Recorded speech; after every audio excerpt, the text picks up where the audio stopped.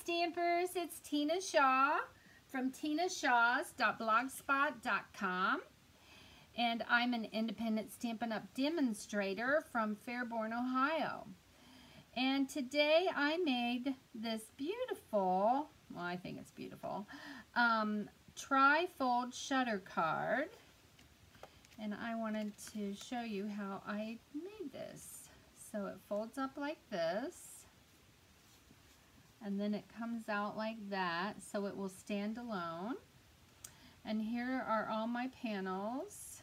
See the little trees the cute little deer from Wishes and Wonders. This is from Wishes and Wonders set. The poinsettia petals uh, die cuts. This is from In the Pines. Cute little trees. I made a little moon um, made like snow drifts down here. And then on the back I um, put the little greeting back there and stamped a few more of In the Pines trees. So I thought it turned out pretty cute. Um, the cutting out is super easy um, of the card itself and then um, I'll give you all the dimensions for all of the other uh, panels. Okay, let's get started. So I've got a piece of cardstock. This is Mossy Meadow, and I've cut it at five and a half by 12. So you need a 12 by 12 sheet if you're making this particular card. So what I'm going to do is I'm going to open up my ruler on my trimmer and I'm going to score this at two inches. Lift up my cutting blade here wasn't quite ready. Get this back on the two inches. Score. Four inches. Score. Eight inches. Score. And 10 inches. And score. So, there's your four score lines. And then I'm going to take my paper and I'm going to turn it the other way. And I'm going to line this up right to the edge of the trimmer where they um, where the ruler is on there. And I'm going to um, cut this from the first score line to the last score line. And this is at an inch and a half. Did you know when you put that paper all the way up to here, in your trimmer, that this is an inch and a half. So what I'm going to do is get my scoring blade out of the way. And then I'm going to put this down at the 2 inch mark. And then I'm going to go all the way up to the 10. Okay. So now I'm going to flip it over.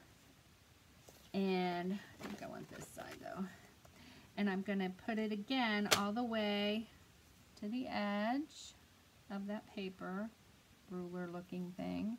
And I'm going to start again at the 2 well it'd be the 10 down here. 10 inch all the way to the 2 inch. And you know you've got these little marks right here on this um, cutting blade.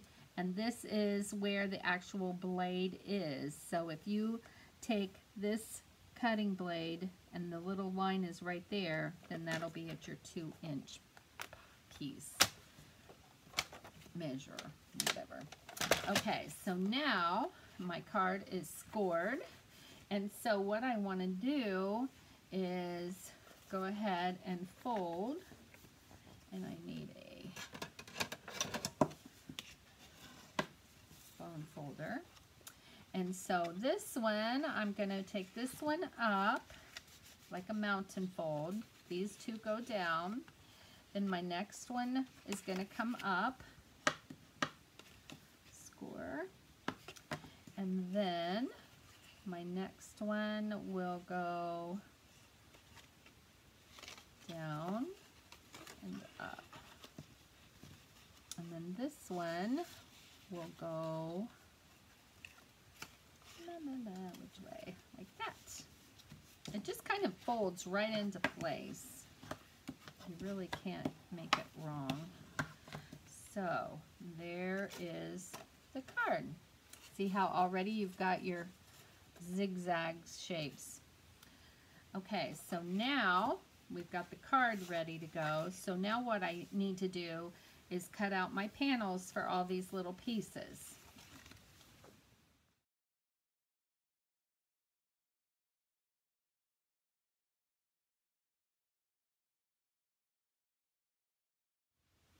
First, I want to go over with you the key that I made for all of the designer series papers.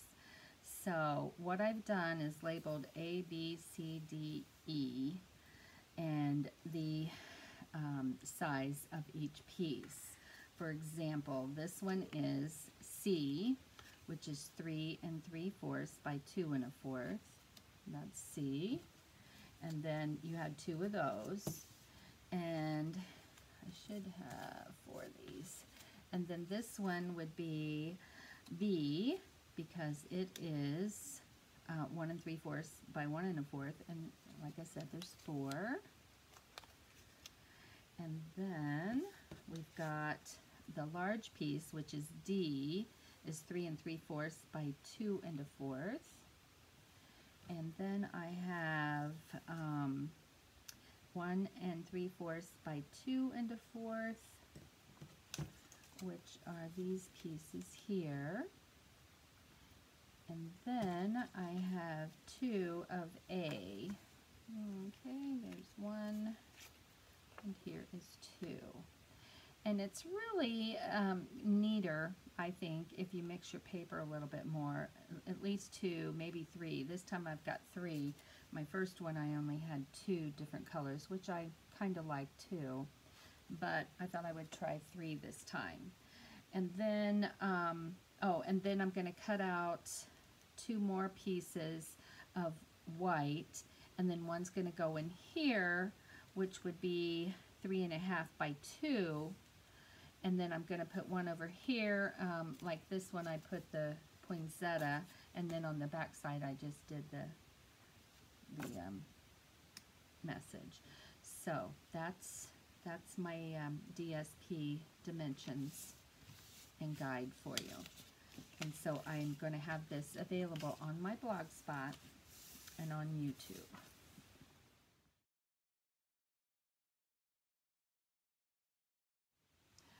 I've gone ahead and glued all of these um, DSP pieces down. And I think I said this one was, I told you the wrong uh, measurement. It is C and it's three and three fourths by um, one and a quarter. Not, um, I think I said two and a quarter, but it's only one and a quarter. Okay, anyhow, um, now what I want to do is to work on the deer. And I've already gone ahead and cut out my parts and pieces. This is um, the rectangle die, one of the rectangle dies. I think this one is about the third one in from the largest. And then I cut out this cute little die which is in the Wishes and Wonder set, along with the deer, which is also in the Wishes and Wonder.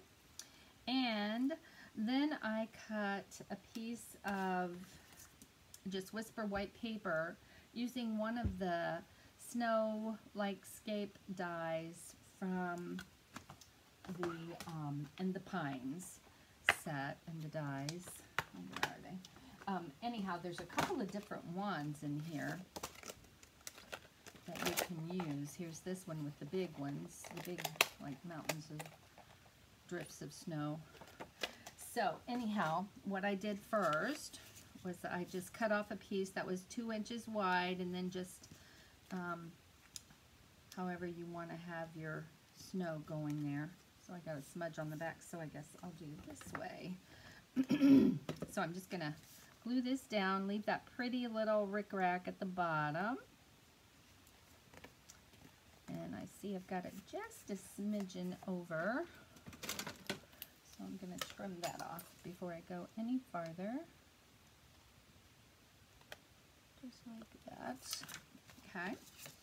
And now I'm going to take my deer and I'm going to put the deer probably about right here in the snow.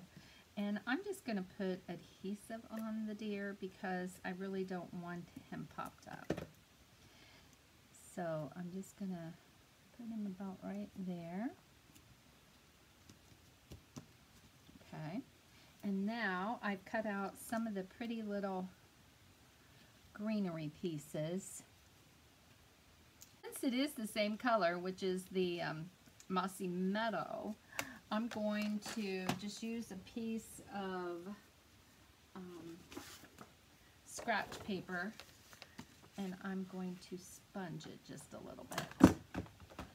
So I'm going to use my Mossy Meadow. And I'm just going to take and just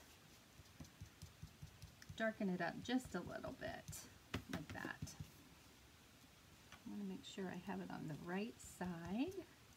It's darkening, isn't it?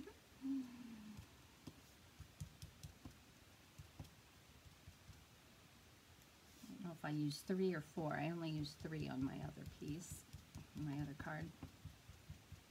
Okay, so while I'm at it, I'm also going to shade my trees. And these were cut out with the In the Pines dies. And I cut out two of those.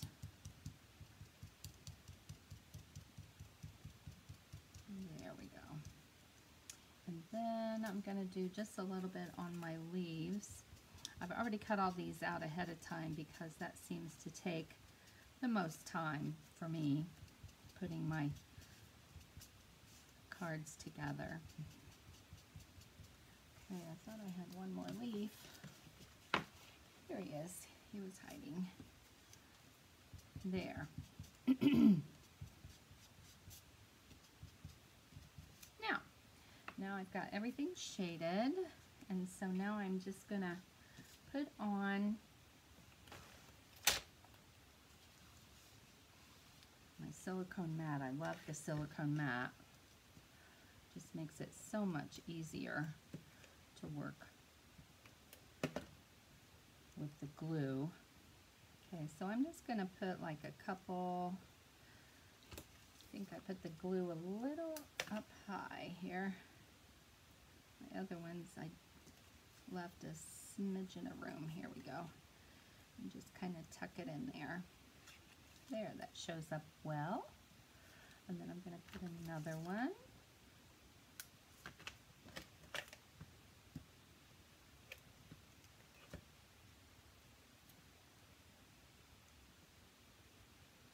Get rid of that glue that's sticking out there. Okay, there's a couple. And then I think I'll just add one more over here like I did the other one.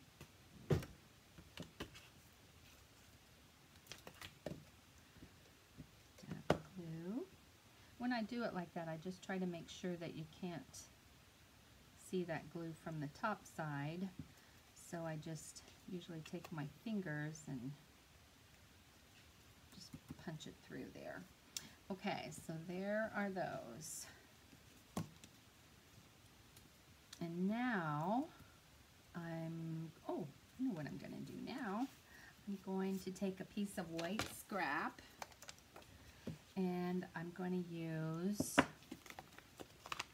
this stamp that's in the Wishes and Wonder and I'm going to use my real red ink pad because my DSP is the Heartwarming Hugs which one of the colors is red.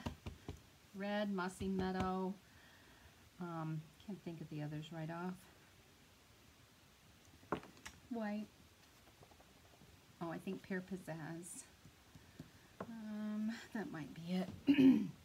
so anyhow, once I do that, you can either use the die if you don't have a circle punch to punch this out, but I am using the one and a half inch circle punch to punch this out. I love using punches because they're just quick and easy. so let's put this on here. And I don't think I popped that up, did I? Yes, I did. I popped it up with dimensionals. Had to take a closer look. So I'm going to do this here.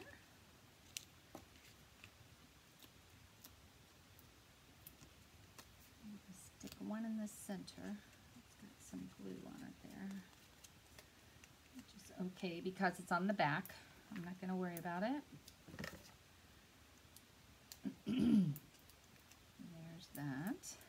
But before I put this down on here, I'm going to take my little twine, my gold metallic twine, and pull it through here so I'll be able to tie it. And then I'm just going to center this piece onto here. Now I can tie this. First I just tie it once and then I just loop it and make my bow.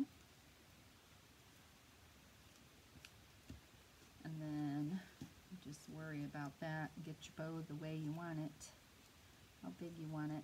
And then normally what I do is I'll just add a piece of, um, not a piece, but a glue dot. And I like to take my glue dot and just roll it between my fingers and then just lay it under the ribbon like that. Okay, so there's that piece. And then I took my circle that I just stamped and punched out. Okay, so I put on dimensionals on the back of that. And now I'm going to pop that up over here. How cute.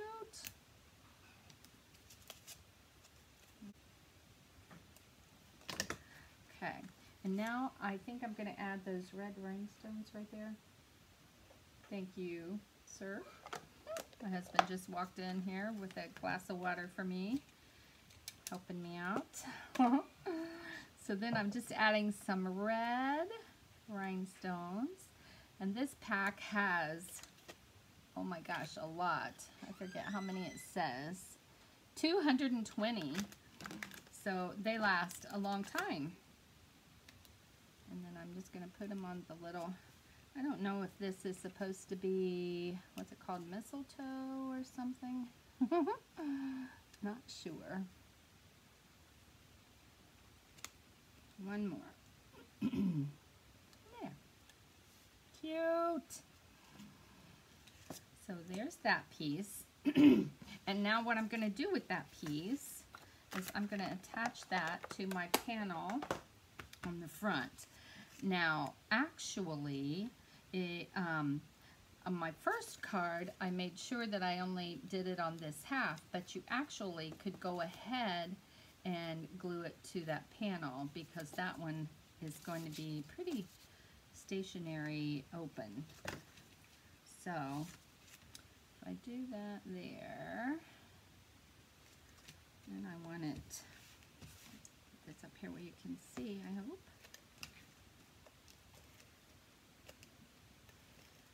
There, and then I'm just going to do in the center a bit. Okay. So now I'm going to attach this, so now it's up here go. And center that to about right, I think I want it right there. Nope, needs to be over a smidge. Because now I'm centering it this way. And then making sure that I didn't get any. So if you do, you want to make sure to take that off of there. Off. I don't want it sticking when I open and close. Okay, so look how cute it is already. All right, so now for my center, I'm going to go ahead and do another poinsettia. I absolutely love the poinsettia stamp set. The pen, the, it's just awesome. so I have, um, this one is actually cherry cobbler and then this one is real red and I mixed it on my other one and I really liked it. So I'm going to take and put together my poinsettia. I'm going to add like a couple of glue dots. Just bend it just a little bit. I'm not going to rough it up with the bone folder. And then I want to stagger the petals. And now I'm going to add, I think I'm going to add a shiny, this is the red foil paper that we have right now that comes in a pack uh, 12 by 12 and you get two sheets of the red and two sheets of green and it's beautiful. Okay, so there's that one.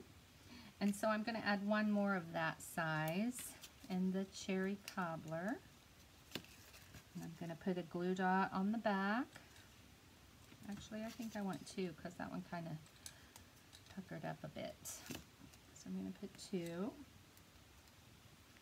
And then put that one on like that. Isn't that so cute? And then on the top, I think I'm just going to add, I just want the cherry. I think I want the shiny. Oh, look at that spin. okay, so now I'm going to put this on here, staggered. And there is our poinsettia. How pretty! And for the poinsettia, I actually just glued that down with our glue dots again because I don't want a big, big um, dimensionals there popping it up more because we've got quite a few layers of the uh, petals on here. So you want to try to turn this where it would be the least likely to interfere with the opening and closing. If it does, you can just curl your, your um, poinsettia up just a bit. Okay, so there's my poinsettia. And now my leaves, I always like to just bend them. And I think I'm just going to use some seal. And I'm going to put one in here. And then another one here. And I'm just mostly putting this on the bottom half of the leaf. Put that one right there. Okay. Make sure I fold up here. It needs to be in just a wee bit more. And I have room. There we go. And now I should have one more leaf. Where did he go? Here he is. they hide from me. Okay, one more on the other side. Okay, I think that looks good. And then I cut a couple of the little berry twigs out of the gold foil paper sheets. I guess it's called gold foil sheets. Knocked over that. And I'm going to get this back out because this one's a little harder to work with because it's so fine. And then I'm just going to put that right there. And actually, I'm thinking I might just cut this one totally off because he's going to get bent right there.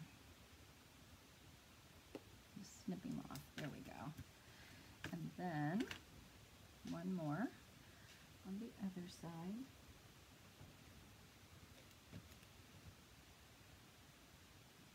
Okay, and these, it does not matter if there's glue sticking out there because it's going to be covered up. So again, I'm going to cut this one off. Right there. There. Gilded gems, the gold gilded gems. And I want the smallest ones. So I'm going to have to open a new pack.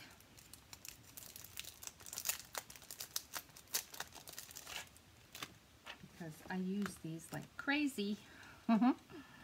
because they're so pretty. And then I'm just going to put a couple in here. Maybe three. Okay, so now I have that panel finished. And so now for my third panel on the front, I have cut another piece of the little um, background, like snow scenery. close this before I do something. And I'm going to stamp some snow drifts on this. And so this is just smoky slate. And so I stamp off. Wants to pick it up. and just do a few marks there. And now when I glue this down, I'm going to glue at the bottom. And then I'm going to just put that right there. Just cover the bottom piece up like that. And now I'm going to take my trees that I cut out and you saw me shade these. So this off too. And put this one down here. And then this one I went up farther. And so now I have also punched out a one and a half inch circle using my same circle punch that I used to uh, punch out the this the North Pole one. Night of Navy, and this one has too much ink on it. You just want to lightly go through. It's not so lightly. There you go. Kind of a blue moon. blue hazy moon. So I'm going to put my moon about right there. And again, I'm going to just glue that down. So it'll be like behind the trees, right there. So now I know where I want my trees to go. So I think this time I'm going to use the liquid glue. Just run it down the center. and put that one right there. Maybe just so the tip is on that one. And then this one, again, just go up the center. Oh, got a little crazy. now, I'm going to put this one so he's shaded more there. Oh, isn't that so cute? I like it. Okay, so there's the front. And now, oh, I actually stuck this on. And you can do whatever um, message you want on here. But now I've already, I just put a little dab of snail on here. So I think I can pull that off without ripping my paper because I didn't want to lose it.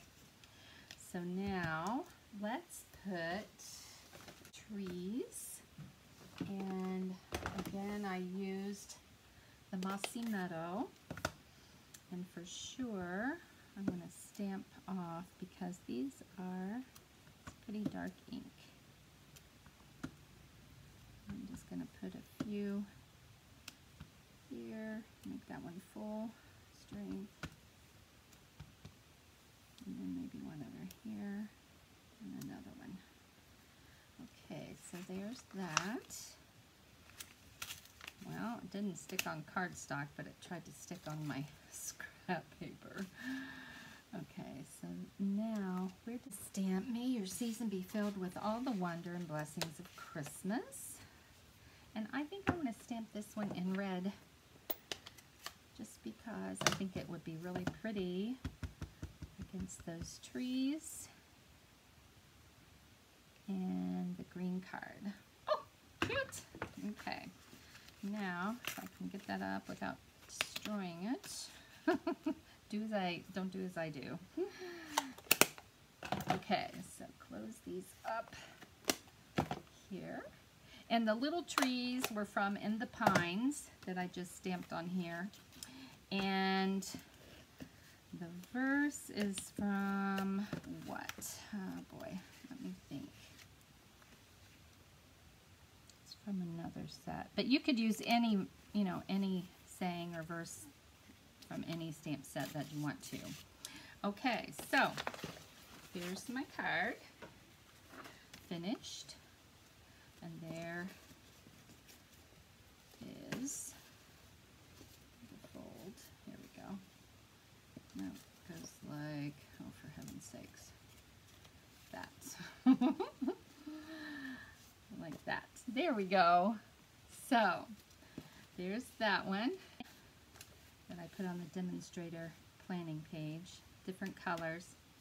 Both really cute. Love the cute little trees and the stamp sets. And Anyway, let me know what you think. Tutorial. And um, don't forget to um, subscribe to my YouTube channel. And then here's my blog, tinashaws.blogspot.com. My store, my Stampin' Up! store is tinashaw.stampinup.net. And if you need a demonstrator, I'm available. And I would love to help you with all your Stampin' Up! needs. So, thanks for joining me. See you soon. Bye.